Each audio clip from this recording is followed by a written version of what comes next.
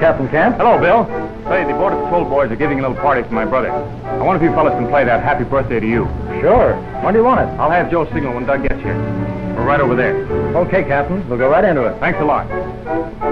John sure devoted a whole lot of his life to his kid brother. Yeah, but spoiled.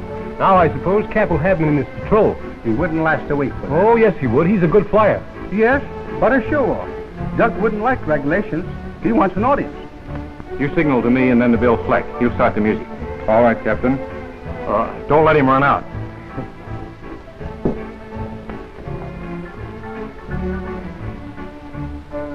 Boom, you pretty creature. You nearly set me into a spin. Well, come on back down there and tell me. How you fix the steady company? I'm doing all right. I caught myself a flock of eagles. Eagles? Look more like canaries to me. They're bluebirds, Smarty. Why don't you join them? Maybe I will, as soon as I can get some bird seed. John wired me to meet him here. He flew up from the border to celebrate something or other. You've got a swell brother. That's right. How about me? Hmm, you're pretty swell yourself. Well-headed. Oh, is that so? Hey, listen. I'm going to let you in on a little secret. Now, if you're very careful and play your cards just right, you can get me. Check. Check. Oh, Mr. Taylor, How are you, Doug? That was some beautiful flying you did yesterday. that's a beautiful ship of yours. Well, you'll have to thank Chet for that. Kid's gonna get a bang out of this. I'll bet he will. We'll say your brother's waiting. Thanks. Oh, here he comes now. All sing happy birthday to you when I drop my hand.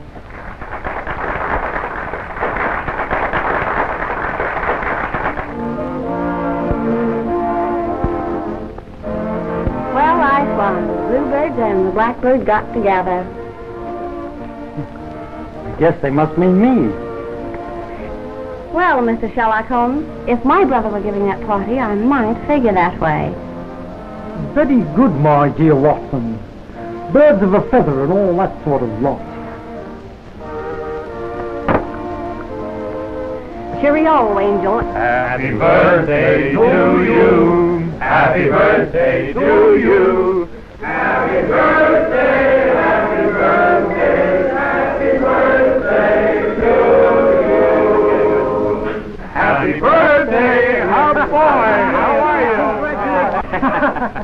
John, you old son of a gun. What's the meaning of this? Well, I always wanted you to meet the gang, and your birthday gave me a good excuse.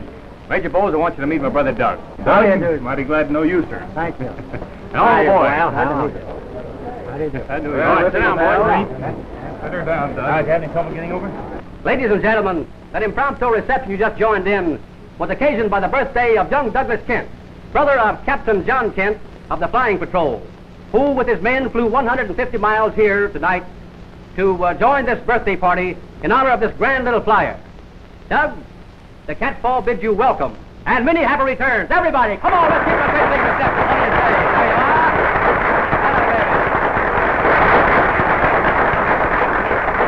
Well, Marion, be nice to that boy. Oh, I'm nice to everybody. How about giving me a break? Take it up with your wife.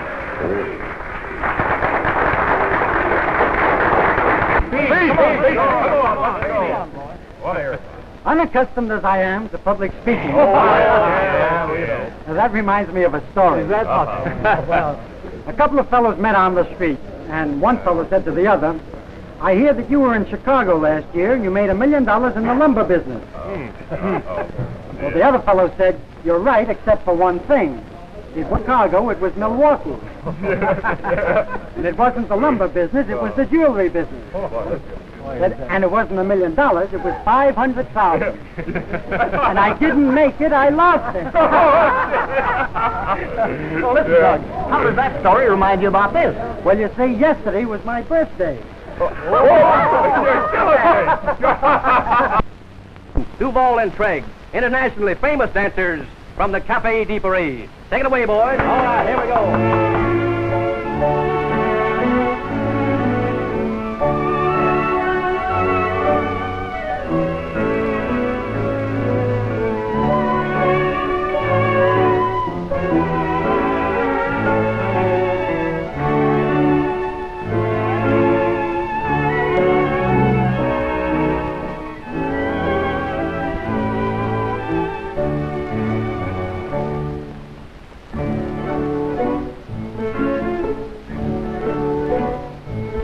Now I'll tell one. Now, this is a fact. When I was overseas one morning, a pal of mine went out with an observer in an old Sopwith. When he reached about 2,000 feet, he threw the crate into a loop. The observer fell out, not being prepared. My pal saw his boy heading down without a chute, so he dove the plane and picked him up in the wing. And that's the gospel truth. What do you think, John? Would you believe that one? Well, it's a fact. Yeah, I've heard that yarn before.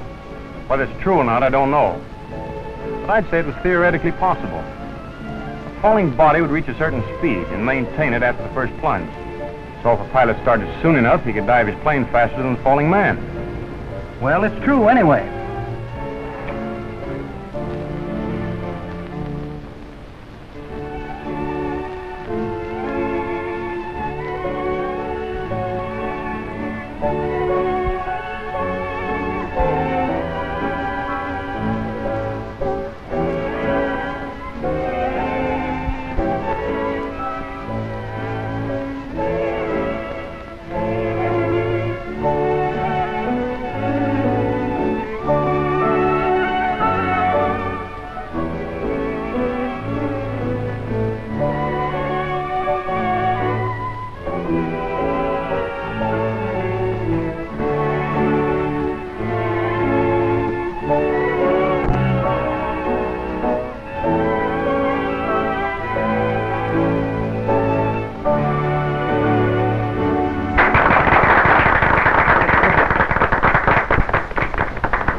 Ladies and gentlemen, we are dedicating this next number to Doug Kent, whose birthday we're celebrating tonight. A bit of a high-flying bird himself. All right, boys. There's a call for you, Mr. Kent. Thanks. Excuse me, fellas. I'll be right back. Okay. See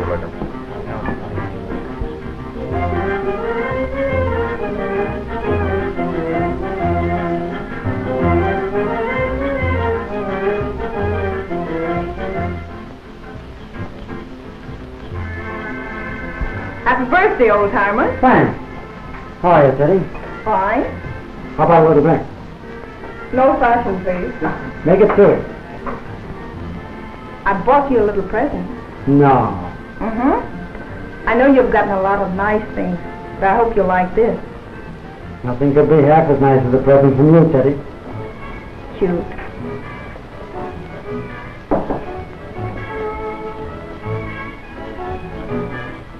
Teddy, it's swell. I'm glad you like it. Here, let me put it on for you.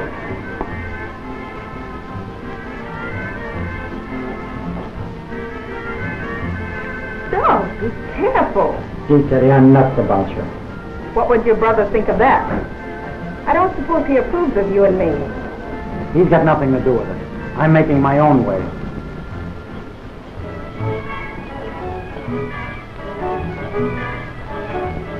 Well, hello, Marion. John married you off to Doug yet? Isn't he a scream? I don't know whether to kiss him or to kill him. Well, you could do worse. I don't know. Doug's a nice kid, though. Too flighty. Oh, if he were me about me, I feel better about it. Well, maybe you're right. The way you can fly, you should be as famous as Hawks, Turner, or any of them. If I had a good fast plane, I'd be on the front pages of every newspaper in the country. I suppose you'd forget all about me then. I'll never forget you, Teddy. I'll forget it. We're just blowing bubbles. They don't have to be bubbles. No? Well, maybe you can tell me how I can buy expensive planes. I can, maybe. Go ahead, I'm listening. A friend of mine could use a good flower like you, and it'd pay well. I believe Doug has forgotten us. I'll look him up. Well, here he comes now.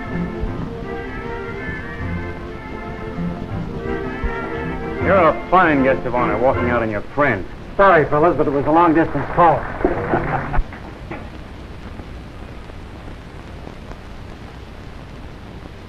Here from Morley? They're on their way. There's a slight fog southwest, clear, ceiling unlimited. Standing by for plane 14 to report. Go ahead, plane 14. That's the Air Patrol. Plane 14 reporting. Over Coyote Wells, flying due west. Altitude 2,500. Bright moonlight. Wait a minute. Ship flying without lights. Just saw him as he crossed the moon. I'm going to investigate. He's flying north. Okay, plane 14, we'll stand by. Think that's Chet? Sounds like it. I don't think that patrol ship can catch him. Hello, George. Plane 14 calling. Go ahead, plane 14. I got above the fellow and signal for him to land. Instead, he's gunning it. Don't know if I can catch him, but I'm on his tail. Better send up a couple of ships and head him off.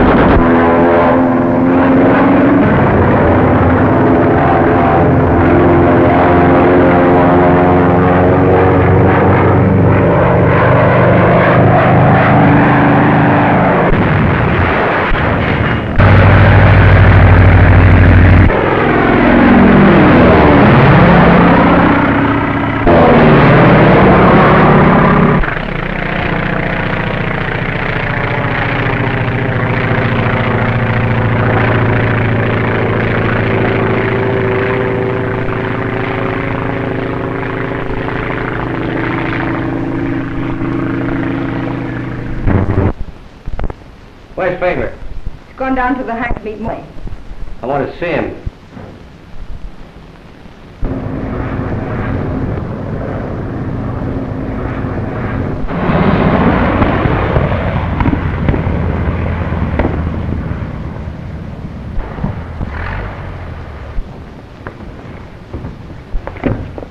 Boy, that was close. Too close. You're too fast on the trigger, Chet. You'll get us all in a jam. You see that? Romero stopped those. Shooting down a border ship. You know what that means? Yeah, it means that I'm still alive. Get this Faber. I'm doing the flying, and I'm doing it my own way. Well, we can't talk here. Come up to my office when you get through.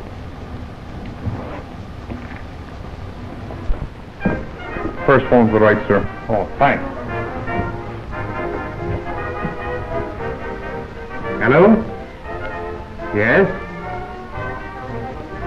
What? We'll take off right away. Now. There's a call from the field, sir. Some runner got Jake. We're ordered to take to the air immediately and double back toward the border. Sorry, Doug, I've got to shove off. Can't tell when I get back. Well, that's all right, John. I'll stick around here a while. All right, take Marion home. Oh, here are a couple of tickets for a show. I was going with Joe, but will you take Marion?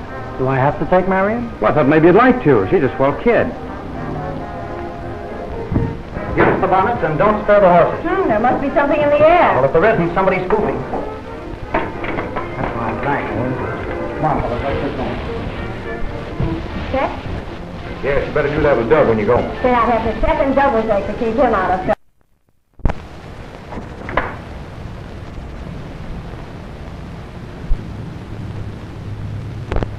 Stone, take the coast route. Yeah, Brown, cover the desert. Howard, Wilkes, Spangler, cover the and east. I'll take the Sierras.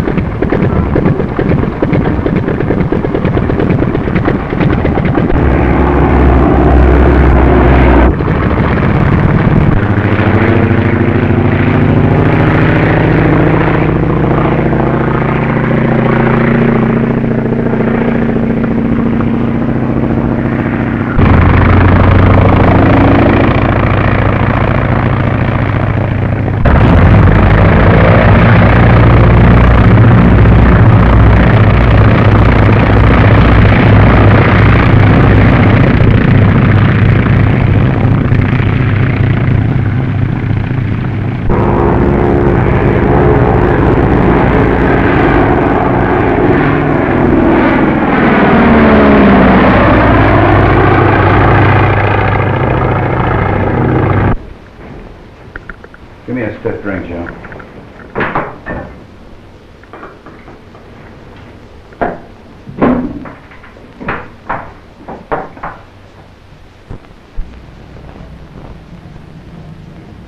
What is this? A meeting of the minds? No, when men meet, I'm the mind. Yeah, well, get this Faber. Flying's my department, and you keep out of it. You've been acting with a pretty high hand, Chet, and I don't like it. Yeah, well, like it or not, while you're sitting here on your haunches, I'm out taking all those chances, and you're making more money than you ever had in your life. If you haven't got the nerve to stick with this thing, what'd you start it for?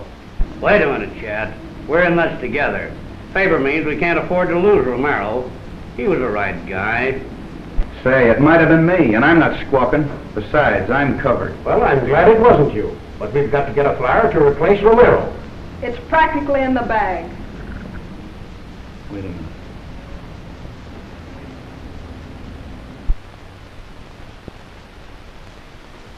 I had a hunch. Don't tell me you're waiting for a streetcar. You're on the wrong line, Mr. Morley. Come in.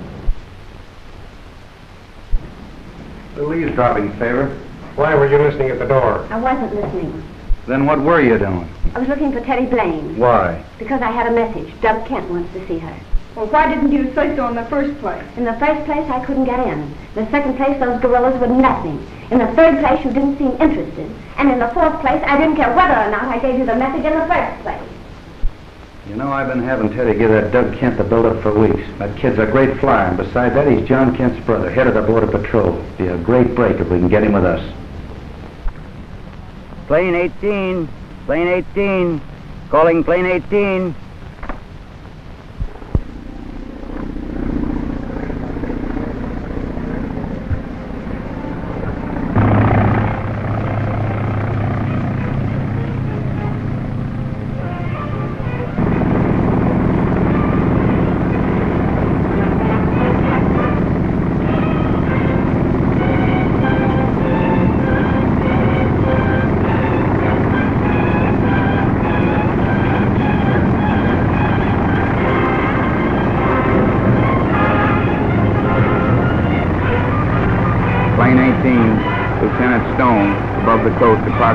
50 miles north of the border.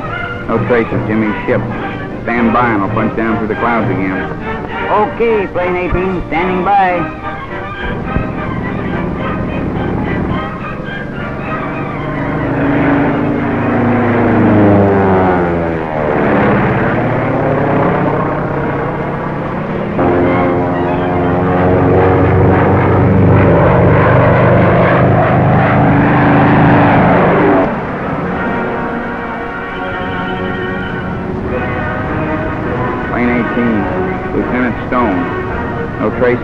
Ship. Hello, plane 18. Proceed to Harbor Junction. Plane reported heard in difficulty above the clouds at 11 p.m. That is all.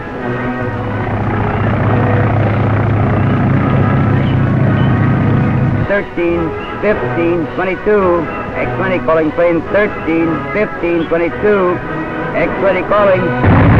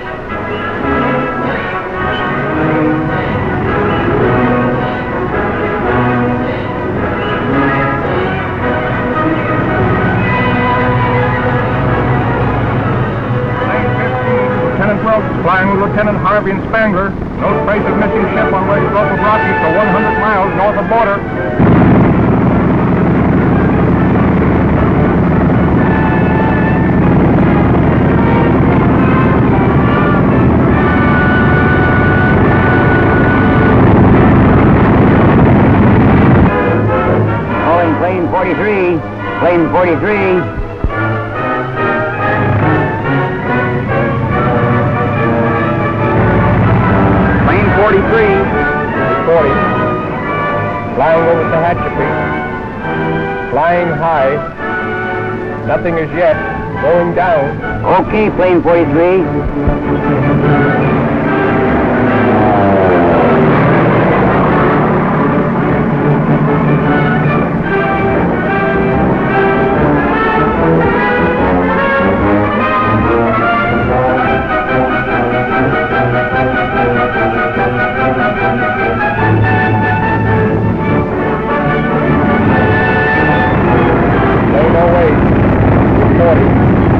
passing right point, going into the valley, flying low. Proceeds to Salton Sea. Plane reported cracked up shortly after midnight.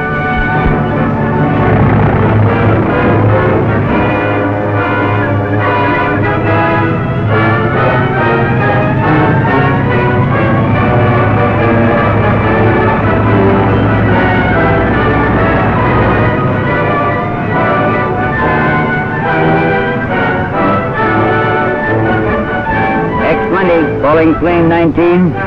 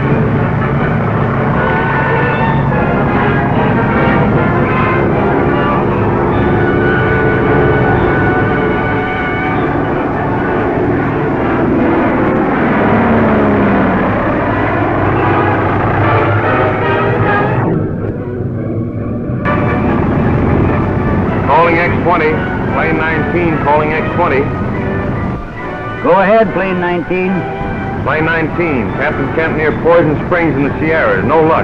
Any instructions? A prospector at Poison Springs reported two planes flying north at 11 p.m. Three minutes before Jimmy's radio quit. I'll make a thorough search of all canyons in the vicinity and report later.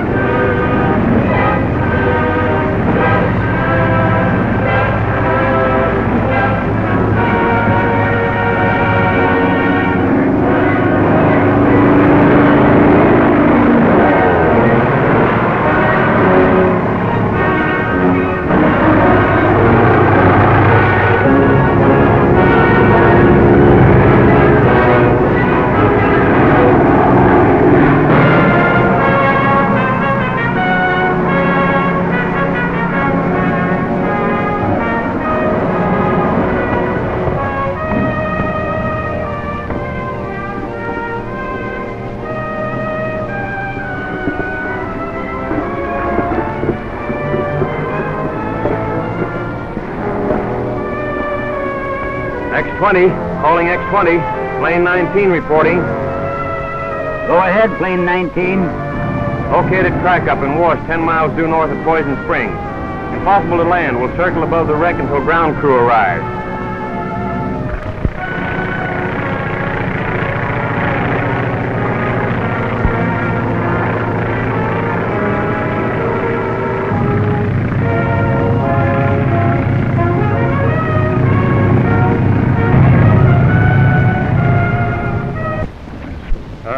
This is? Why, that's the dancer at the Cat's Paw. Well, after I left the wreck of Jimmy's ship, I spotted a dead man on the desert near the wells. And you took this picture from him? Yes, he was carrying a lot of lead from someone's machine gun. Well, Jimmy must have hit him. Exactly. And I figured the pilot of that ship couldn't land with a dead man, so he rolled over and dropped him out. No, that's cold-blooded. Any idea who it was? According to his pilot's license, his name was Romero. Romero? Have you heard from Doug? Why, yes. He called early this evening. Said he had a business engagement uh, down at the Cat's Paw. Oh. Well, if you don't mind, I'd like to fly up there. I want to ask some questions. Well, I wish you luck. Thanks, Major.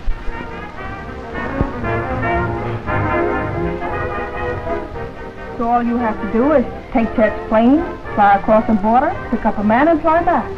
That's a lot of money for a short hop. Well, why not, as long as you're a good enough pilot? Nobody pays that kind of money for straight flying. What's his racket? Listen, sugar, you fly and he pays.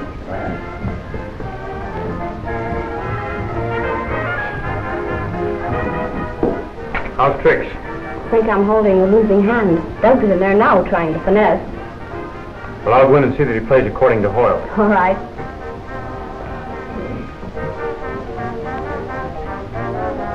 Uh-uh. I don't think I'll go for it. Why don't you have a talk with Chet? You wait right here and I'll get him.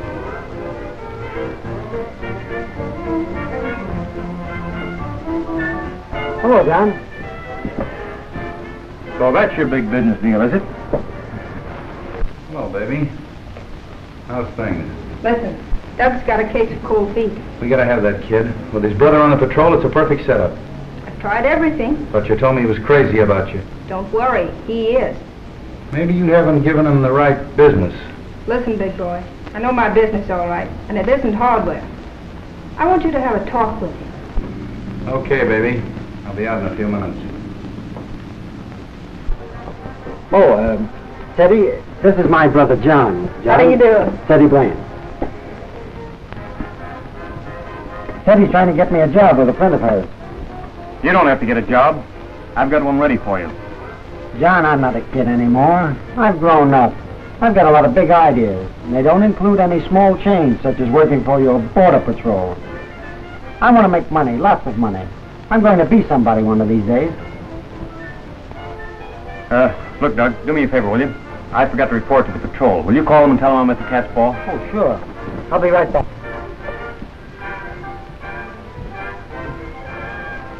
Oh, Miss Blaine, uh, do you know a man by the name of Romero? Romero? No, I don't remember the name. Why? Well, Romero was killed last night in a fight with one of my men, who later crashed. The pilot of the plane that uh, Romero was riding in deliberately spilled him on the desert to get rid of his body. What's that got to do with me? Well, he was carrying this. He must have thought a great deal of you to carry your picture. That's, that's one of my professional pictures. I've given away hundreds of them. Well, do they all have this inscription on them? How do I know? Anyway, what business is it of yours? Well, the plane that Romero was thrown out of crossed the border last night without reporting. That's your business, copper. Just a minute. Wait a minute, forget me.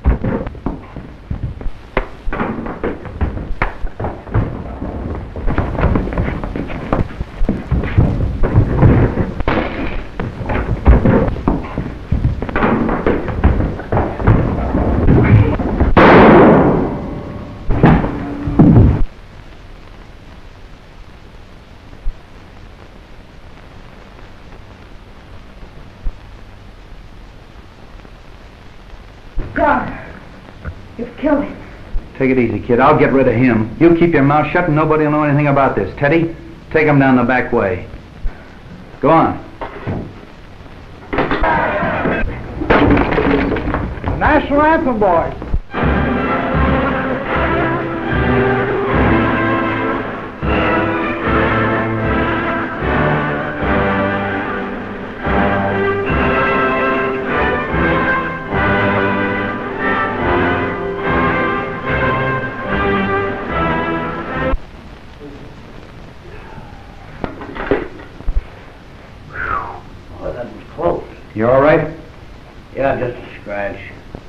Me out, though.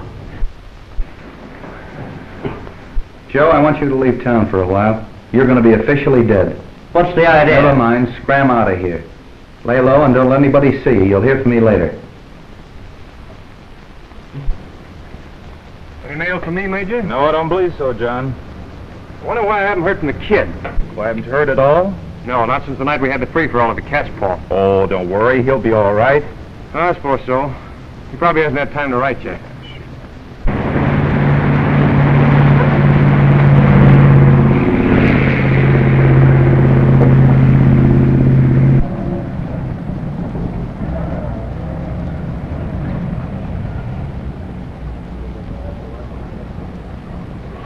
Hello, Captain.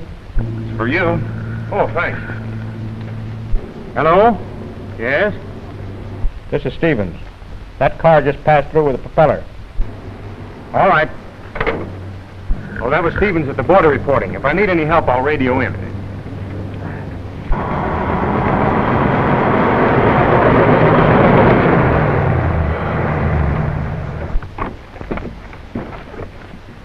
Have any trouble?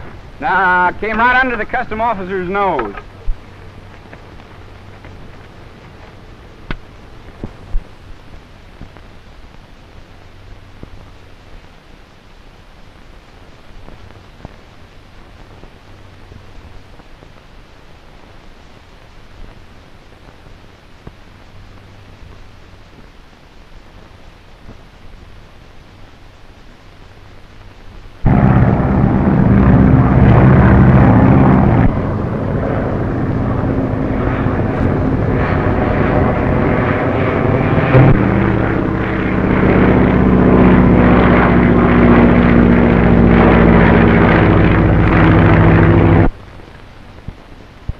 Get it on. Okay.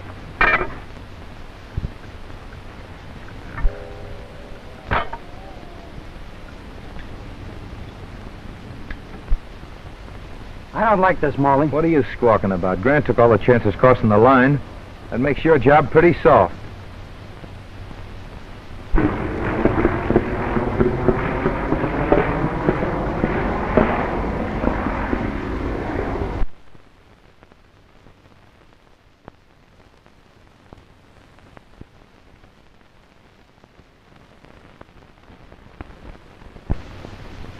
He's coming down. Well, let him come down.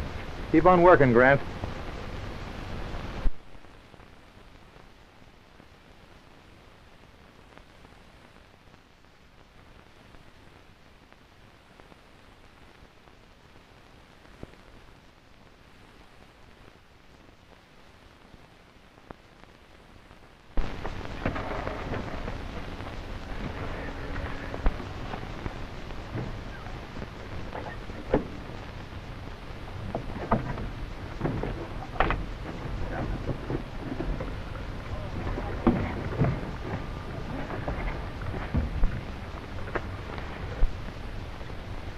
Doug! Hello, John. Gee, I'm glad to see you, kid.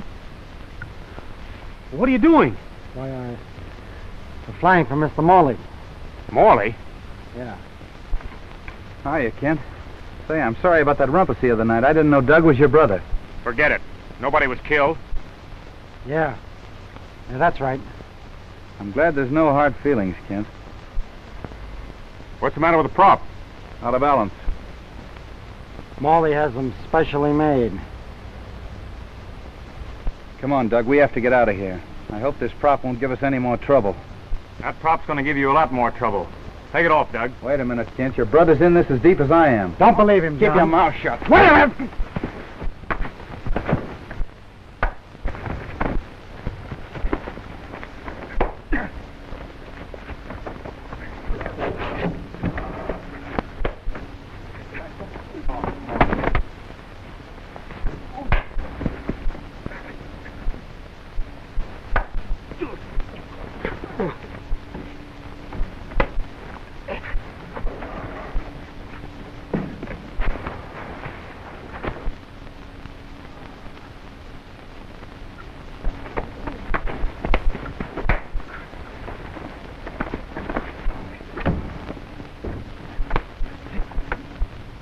On, we gotta get out of here. What about this copper? Don't worry about him. Get him in the plane. I'll get rid of him.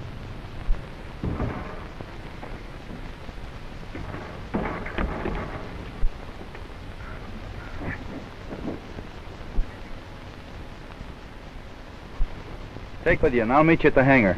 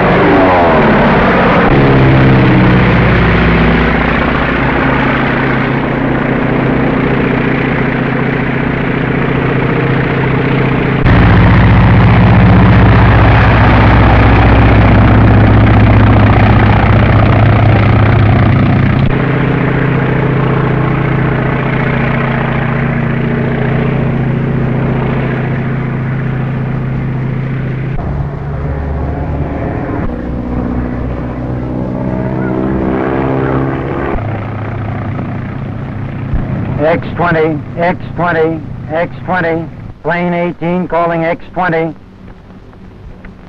X-20, X-20, X-20, plane 18 calling X-20. Go ahead, plane 18. Plane 18 reporting. Gunfight, Indian Wells. Barnes shot, Morley escaped. Have positive proof on gang. Get Faber, Saunders, Teddy Blaine. Two strong-arm men. Morrison and Duncan at Cat's Paw nightclub. Act quickly. Morley may tip off by radio. That's all.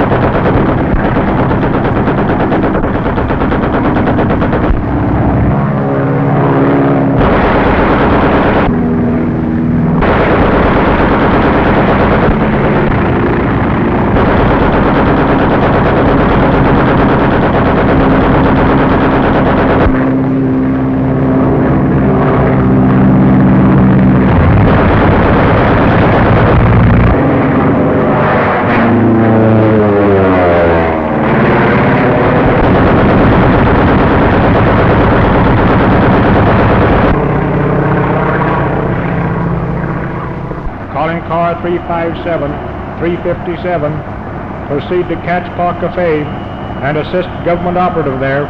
Hurry. That is all.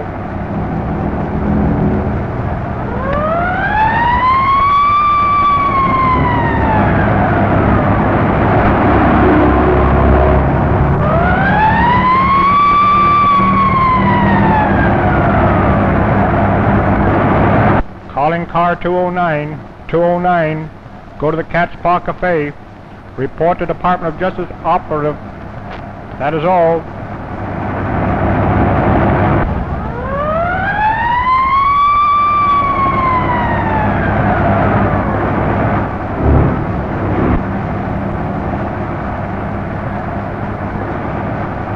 Calling car 57. Proceed to Cat's Paw Cafe and assist government operative there. Hurry, that is all.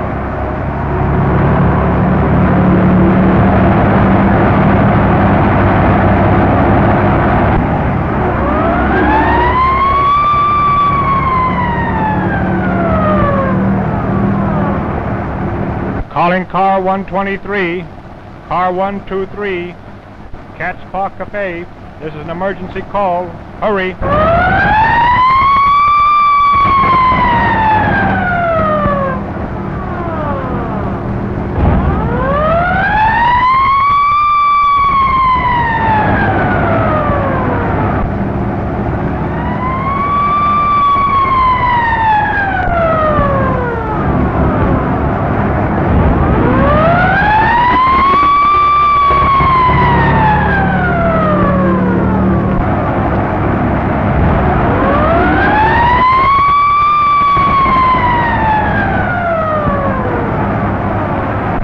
That Cat's Paw was about due for a knockover. They've been getting away with murder.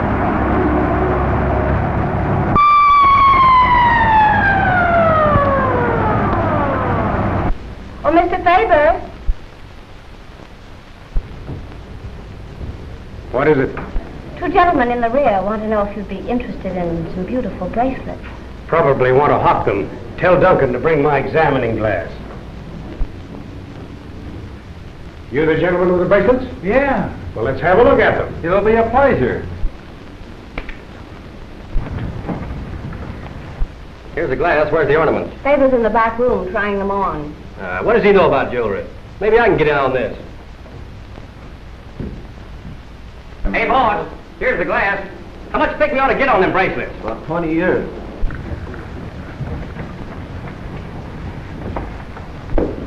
Just saw Duncan carrying his examining glass. What's he doing? They're getting ready to examine a pile of rocks. If there are any rocks around here, little Teddy will get her share.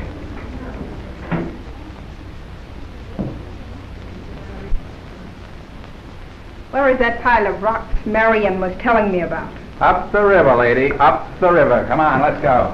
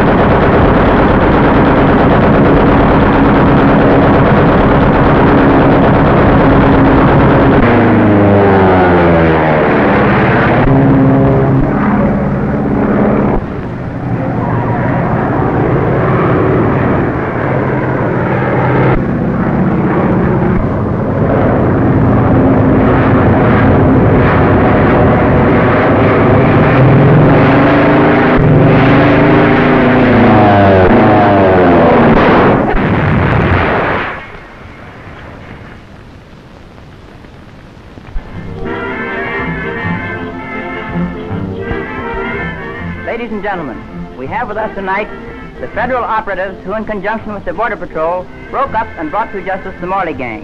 It gives me great pleasure to introduce my old acquaintance and our distinguished guest, Captain John Kent of the Border Patrol. And now, a young married couple who have worked together on many famous cases and are celebrating their anniversary with us here tonight, Mr. and Mrs. Douglas Kent of the Department of Justice.